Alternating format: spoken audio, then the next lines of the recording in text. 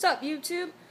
So, what I heard uh, lately, if you guys haven't heard, is that that guy who, um, what was it? Oh, yeah, left his fucking child in the car and let him burn and boil to death while he was at work for like seven hours or something like that. Turns out there's a lot more information you might not know. And that information is the fact that while he was at work, he was sending pictures of his erect penis to six other different women while his child was in the car. There was also a witness that said they saw him come out of his work to his car, went into the car, and saw him doing whatever in the car. Turns out, apparently he was actually changing the child's car seat, putting him, putting the little boy in a smaller car seat, and fucking tying, like, tightening the stuff on it, like the straps, to him tighter so that the kid had no chance of actually getting out. So, um, it seems like the father was actually meaning to kill his child because he was, you know, all for that no children uh, lifestyle or whatever it's called. But other information about that, you know, people are saying, you know, oh, that poor mother. Actually, that bitch might be in on it too. She went and went, she went, went and went, two wents. She went to the daycare, and the people at the daycare was like, yeah, he didn't drop off his kid. You know, he didn't drop, drop off your, your son. She's like, oh, he must have left him in the car. Yeah, left him in the car. What motherfucking says that shit? Oh yeah, uh, he probably didn't drop my child off, so he's probably left in the car. Mm-hmm. Yeah, no, no. So now, what they're saying is that both these parents might have actually been on the whole killing of the child in the car. And you know, when he was taken you know, to the police station after he put on this apparently this dramatic um, event, you know, saying, "Oh my God, my child's dead. What have I done?" You know, a really crappy, uh, dramatic version of it. They took him to the police station. They called his wife, and the first thing, you know, they asked the mother, "Do you want to go see your child? Like, you go see him?" She's like, no, I'll go see my husband.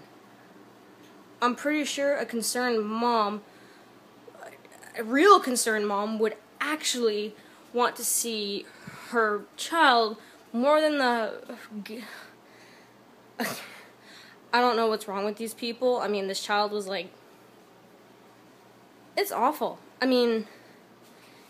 And, like, there's pictures, uh, you know, there's videos of her and uh, well, both of them in the courtroom, and she's just sitting there nonchalantly, like chewing gum, not really acting all that concerned.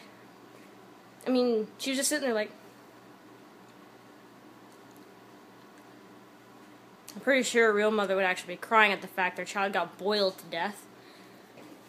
And on another note about that, apparently they found on the child scratches and abrasions on the back of his head, meaning that kid was trying to get out. So that basically means that child was suffering. And I mean, it's going to sound wrong, but if you if you're going to kill your child like drug him, shoot him, I mean, don't leave him in a car where he can suffer. Killing your child's wrong. So, I mean, don't say, oh my god, what you just said it was so awful. Yes, it's awful. But I mean, I would rather hear of a parent killing their child quickly than hearing about them actually just leaving the child in a car in like 130 fucking degree weather and the kid baking and boiling and then just the child was that child was suffering like I don't know. People are just messed up. I mean, it's so wrong. Like, I don't know what to say about that, guys. That's just. It's crazy. It's sad. I'm just glad I live up here in Canada where there aren't stuff like that.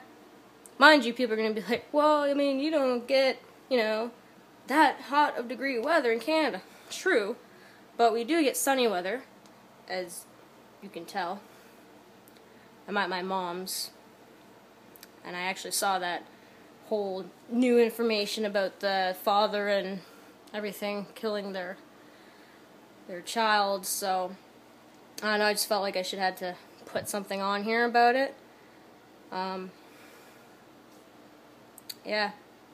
Oh no, people are people are crazy. That's that seems to be it. So that's probably it for today. Um, hopefully, uh, you guys will start answering, asking questions for me or whatever. I mean, I can talk about fucking everything. Even if I don't get any questions asked, I'll just post shit up here just because I can.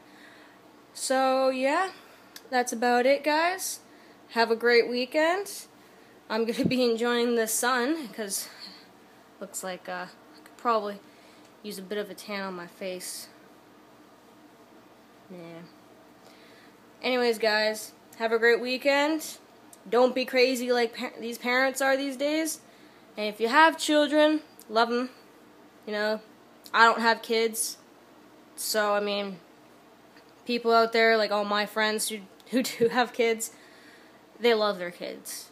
And, I mean, if you go to that extent and want to, like, get rid of your kid, put the fucking kid up for adoption or, you know, just don't be crazy.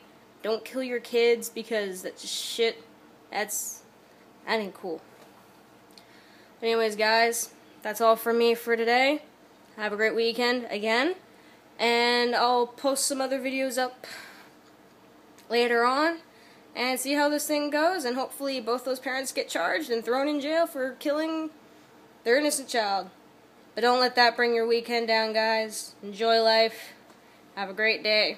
Sorry, I just ate. That was some food.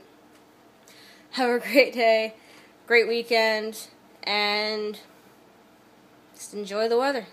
Especially if you're in Canada, because just remember, there's only like, I think like 23 weeks left until Christmas. So gotta start worrying about Christmas now, guys.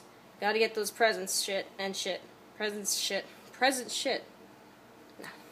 Anyways, guys. Talk to you later. I almost, I'm